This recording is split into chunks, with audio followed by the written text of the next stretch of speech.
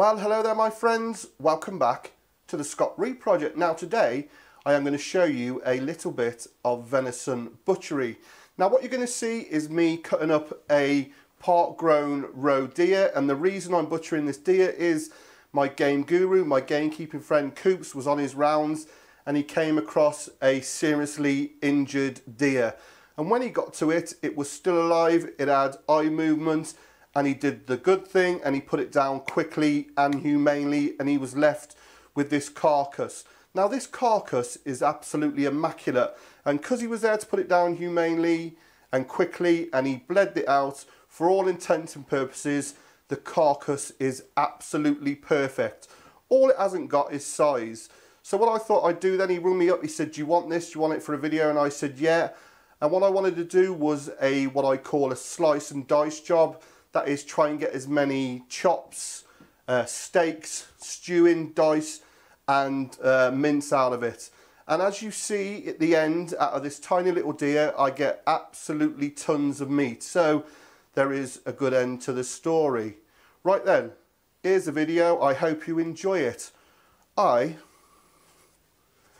demand a cup of tea, my pipe, and some buttered crumpets. So, what I want to do then, this has been hanging for 10 days. I just want to process it real quick. I'm not necessarily looking for joints like haunches or anything like that. So I'm going to do what I would say is a slice and dice job. You know, I want to get as many steaks, chops, cube meat out of it. And then whatever's left, we'll put through the mince and we've got our mince or our ground meat. So let's butcher this thing. One, two, three, four.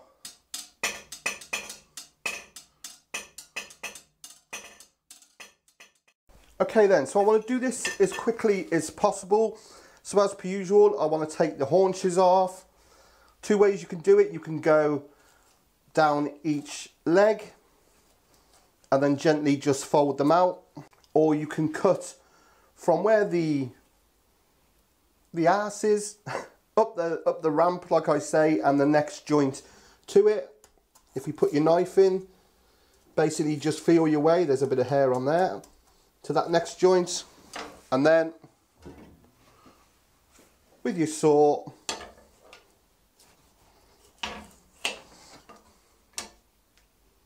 just quickly nip those legs off So while I've got my saw out, just want to take the tips of those shanks off. And then we will split these legs down. And I'm just going to start trimming off any bits of funk that we don't want.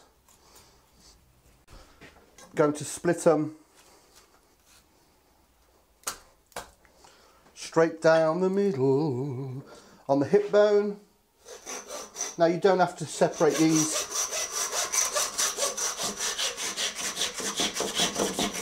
Just what I do. And then we can start taking out that H bone. You can split it, trim those up in a bit. Then we'll take these shanks off. You can see in there a natural joint.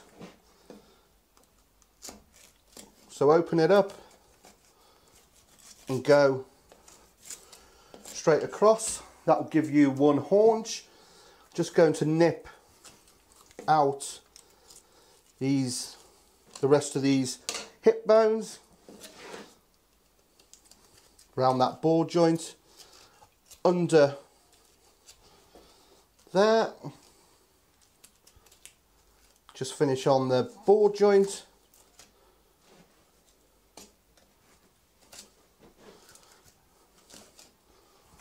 And then take that hip bone completely out. Any trim we will take off. That gives us one haunch which like I said, I don't want many joints. This is about making your deer more usable. So chops, steaks, make it go that little bit further. So again, through that ball joint, round that funky bone, that's the official term, and that will give us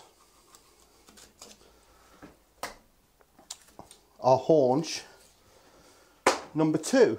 Now, these shanks, Achilles tendon, that one, and that one. So, so far then, we've got two haunches, which we might break down, and our two shanks.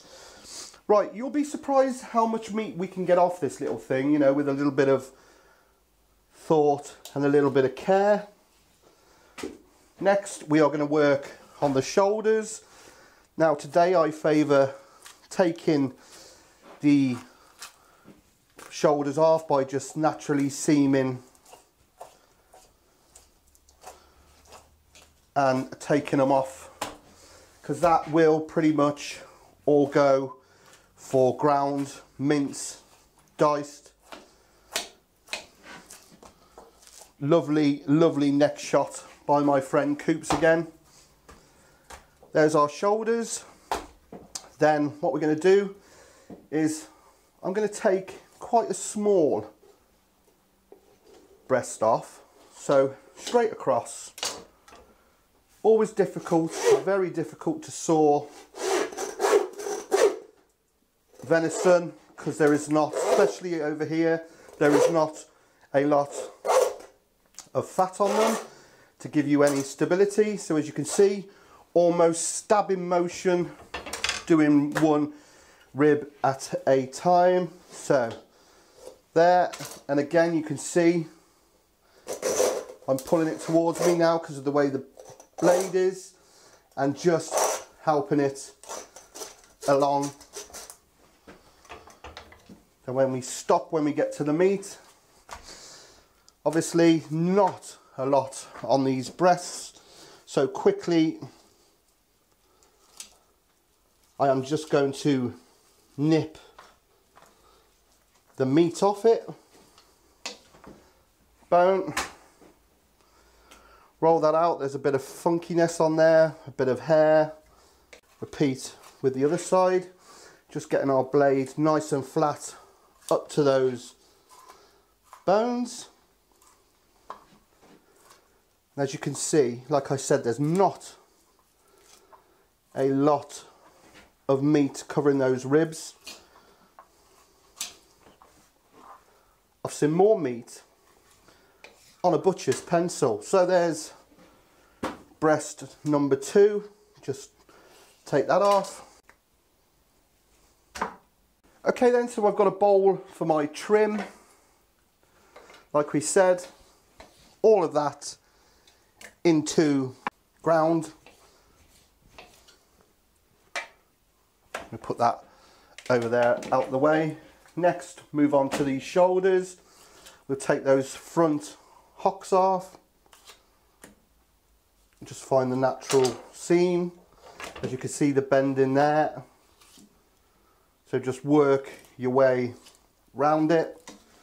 Give it a helping hand.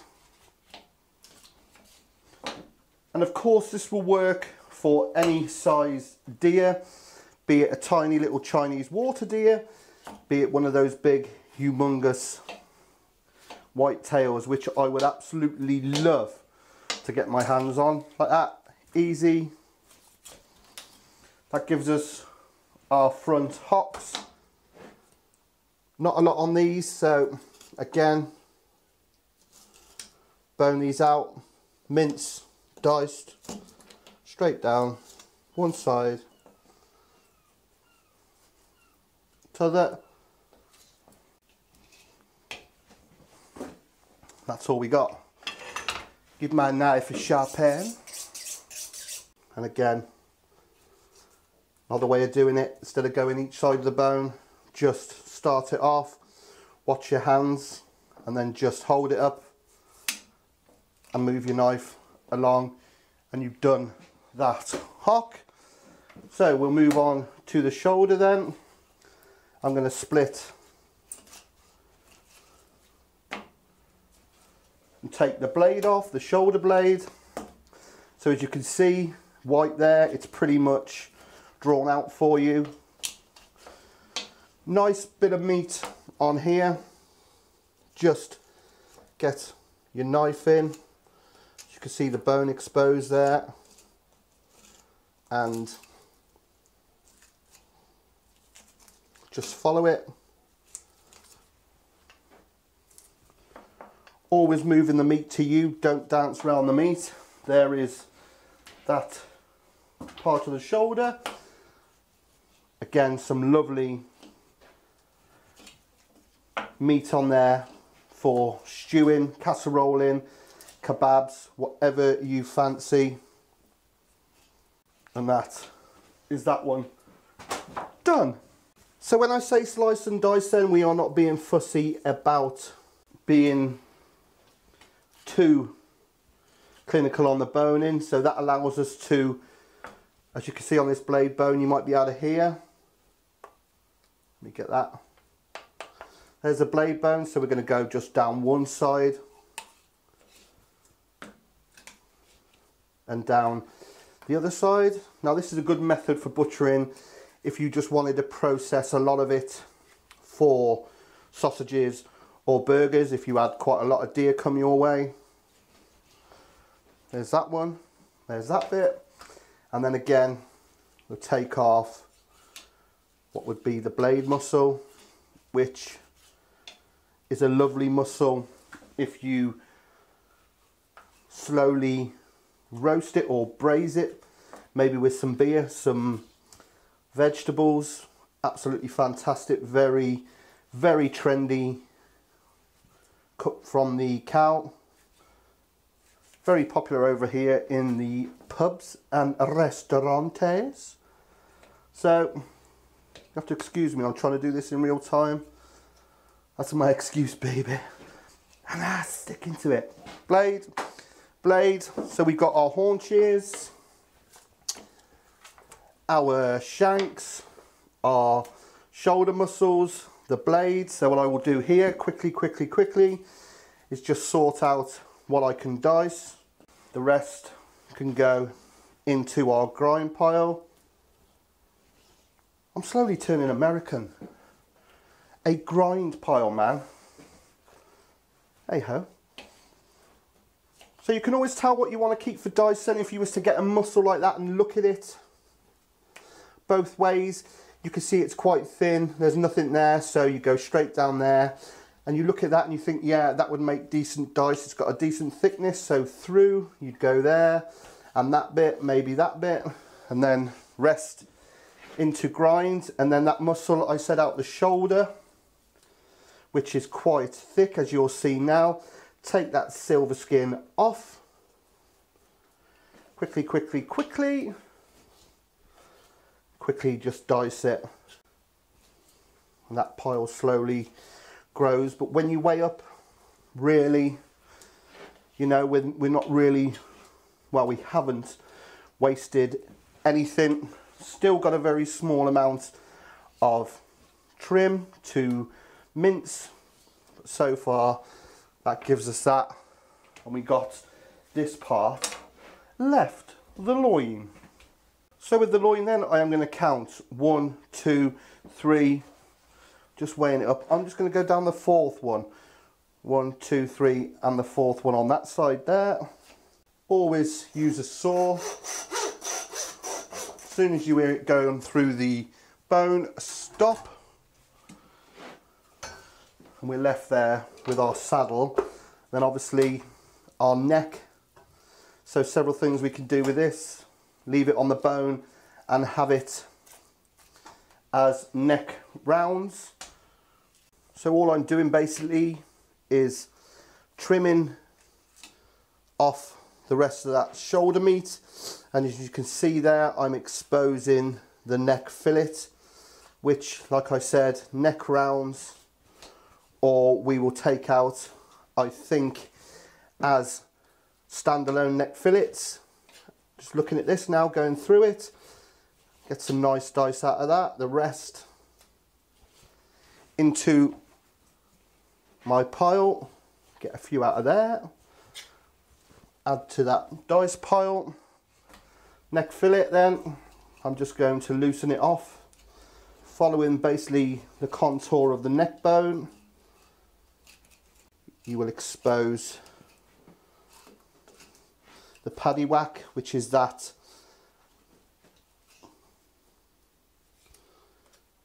sinew there. That's what keeps the deer's head up. It's hard as nails. Now, keep that as a neck fillet. Like I said, it's sliced and diced, baby. So, dice it is. You know, because it's winter over here still. And, you know, it's always nice to have some venison in for a stew, a casserole, you know, red wine get it on, live the dream. Down this side, the knife is touching that bone as you can see, bit of resistance. So we will nip that neck fillet off. There will be no paddy whack on that side because we took it out as a whole and dice through. Leaves us with our loinage. So have a tidy up around the back here where it's been hanging. Get our cloth in. There's our fillets. As you can see, now what I want to do is where this last rib bone is, I want to kind of mark it by just using the point of my knife. That's the next joint from it. So I'm just going to follow it and same here. That allows us to break it get the big guns out straight through. Then we can have a good look at this now. There's a few hairs on this. Can't help it sometimes. This is the way it comes to me you know. This is where it's up to you the process of the butcher the hunter the shooter to give it that final glance over that would make a standalone joint as it was a double loin joint so you could put a few strings around that, but I just want to feel just for the thickness of what we've got here. So we've got one there, we've got one there, we should have one there, and that means we should have one there. So what that allows us to do is some beautiful double loin, Barnsley style chops. That last one could be a bit thin, so we will just see how it turns out. Oh, it's all right actually. There we go. There we have five Barnsley chops. Put those over there then, five Barnsleys two shanks, which you could bone out, but I like those. Braised in beer, pearl barley. We have got our dice of trim and we have got our two haunches. All we are left with then is this lovely little, little, little, little saddle. Right, several things we can do with this. Chops, just take the backstrap out. Let's have a bit of fun. Let's see what we got here. So I'm thinking maybe, maybe, maybe, baby, baby, baby. Yeah, I'm going to have a go. So I'm going to go one, two, three, four, five, six, seven, eight, nine. So I'm going to go one, two, three, four. And I'm just going to go one, two, three, four. So straight down there. And I'm aiming for that bone. And we go straight through. Now, I think what we'll do is we'll trim any bits off we don't want. I think like that. And I'm going to trim the meat off the bones. So where the eye of the meat is there, as you can see, I'm standing it up and I'm just got my knife and it's pretty much pulling away anyway. And that's the start of what I've got in mind. So what we need to do then is we'll just quickly French trim this little rack off so in between each bone so I go down one side up the other start it just above the eye of the meat. I'm trying to do this quick for you guys. I do apologize. Same with the other side. And then what we need to do is saw that either side of that backbone. So nice cloth to steady you. Get your saw and just past the backbone just gently through as you can see nice strokes. That's what she said. And then repeat on the other side. And you can see now why I'm doing it in gentle strokes. It's got no resistance. And then we'll trace down each side and there we have. Let's tidy that up because that's what we do. And nice when we French trim that up when we take our time and we trim them bones we got a beautiful little rack of venison right I'm going to repeat with this side. Aren't they cute? Just like my vintage little chopper so all I'm doing is just putting them down there. You know just being fussy. Balancing up those ribs. As you can see there's a couple a bit bigger than the others but there you have your four bone mini venison racks just need a bit of extra work on the French trimming and we just left then with this best end of loinage so all I'm going to do then same principle as the racks get my rag put it down and then saw either side of the backbone. There's one. You can hear how gentle, no pressure, letting that saw, because it's a new blade, do the trick. You can actually hear and see the ribs sawing one by one. So just straight down. Take that off, always squaring up and that one. And then basically, I think we will go there. And we will go there. And that gives us some lovely venison cutlets. And when you think at how big this was and what we've managed to get out of it, I think it's quite impressive.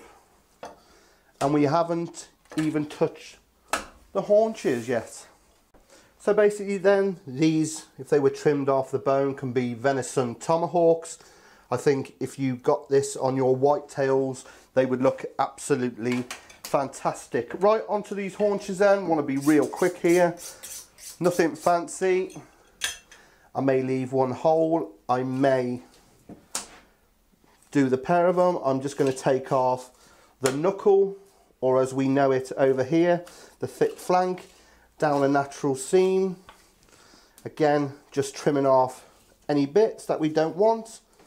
Taking off that patella, the knee joint there and then hopefully should be able to get a few venison medallions two or three on a plate with a nice sauce great fantastic that is so there's those so we are left then with that haunch with our top side and silver side, our inside round, our outside round, our top round, our bottom round.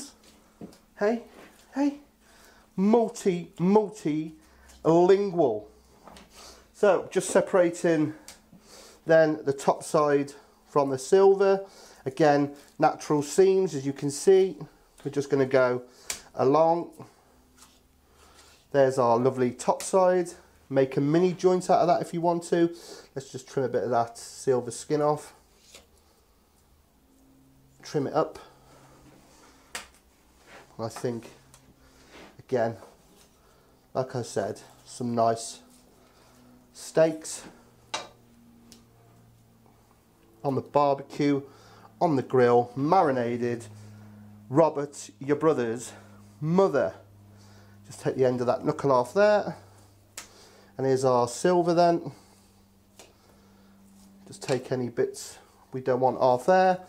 Into the diced. Again, we'll make a lovely little mini roasting joint. Or, because it's small, why not just slap it on the barbecue like that. Always fiddling I am, always fiddling. Right, I will repeat with the other side and then we will see what we got. Well, there you go then. One little roe deer, sliced, diced, staked and chopped. Done exactly what it says on the tin. So, what have we got then? We got those lovely six steaks from the top side. We've got six venison medallions. Look at the state of my hands, man. We got these beautiful six venison cutlets or tomahawks, steaks, chops, whatever you want to call them. If we were to trim off the meat off those ribs. We got a nice pile of diced stew, casserole, whatever you want to call it. These beautiful mini silver side roasting joints. Obviously the two shanks. We've got five of our Barnsley styled venison chops. These beautiful little dinky venison racks, which I think are fantastic. Cooked real quick, kept pink, served on a nice mountain of mashed potato, you know, and a real nice thick sauce. And then what we were chucking the rest in was our trim mince grind pile. One roe deer, sliced, diced, staked and chopped. Sliced, diced, staked and chopped. Sliced, diced, staked and chopped. Okay, okay, I'll stop it.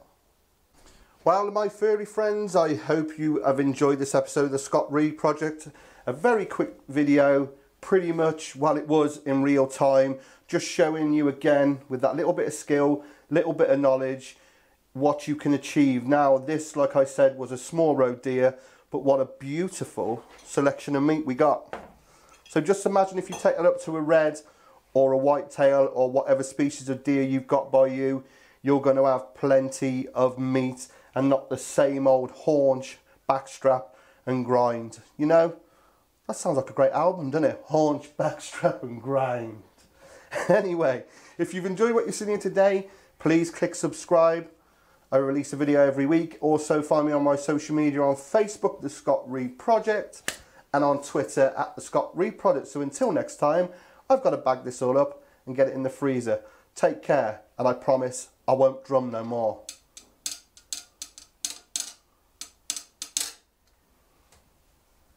See ya!